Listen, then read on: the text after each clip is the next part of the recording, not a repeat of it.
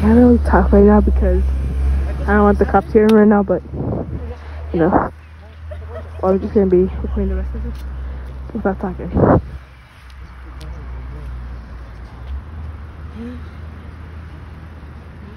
Yep.